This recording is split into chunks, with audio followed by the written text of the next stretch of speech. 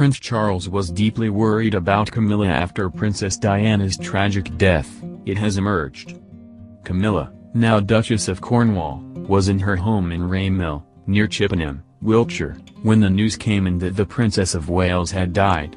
According to royal expert Penny Junor, the press were besieging Camilla's home within hours of Diana's death on August 31, 1997. Ms Junor said in her biography entitled The Duchess the media was eager to talk to the woman who had apparently been the cause of so much misery in the princess's short life. Meanwhile, Camilla was apparently terrified for Charles, because she knew the public would blame him for the tragedy. While the car crash in Paris that killed the princess was an accident, many blamed the prince because she would never have been there with Dodi Fayed in the first place had their marriage not broken down.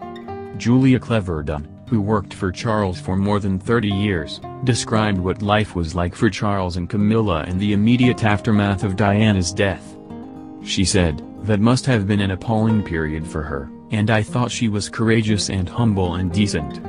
He was in agony about it, he really, really was. And the fact that she was prepared to go through all this for him, I think, illustrates what an incredibly strong relationship and partnership they've had. Knowing a bit about it at that time, when we ever talked about it, he was in genuine agony about what she was putting up with.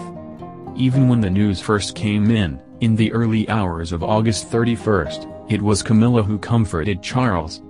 The Prince of Wales was in Balmoral, Scotland with the Queen and the rest of the royal family for the summer. Despite the Queen being just feet away in the next room, Charles and his mother did not go to each other either for comfort or to chat logistics. Instead, Charles phoned Camilla and several other friends.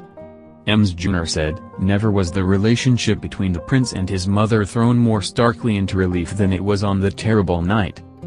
Despite how helpful Camilla had been for Charles, the Queen was still unhappy about their relationship.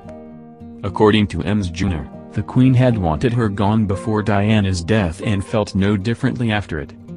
This stance was not because she had any personal dislike for Camilla, in fact, she had apparently been very fond of her when she was married to Andrew Parker Bowles, but what she meant for Charles. The Queen viewed her as responsible for all the disasters that had befallen her son. She was backed up in this view by her private secretary, Sir Robert Fellowes, who was Diana's brother-in-law.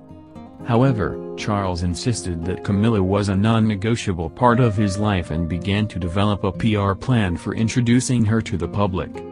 After putting the brakes on their relationship for a time out of sensitivity to William and Harry, Charles and Camilla started appearing in public together.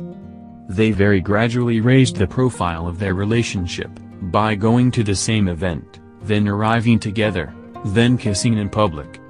Even the Queen came round to a grudging acceptance in June 2000, when she finally met Camilla. The meeting took place at the 60th birthday of King Constantine, former King of Greece, at Charles' home in Highgrove in Gloucestershire.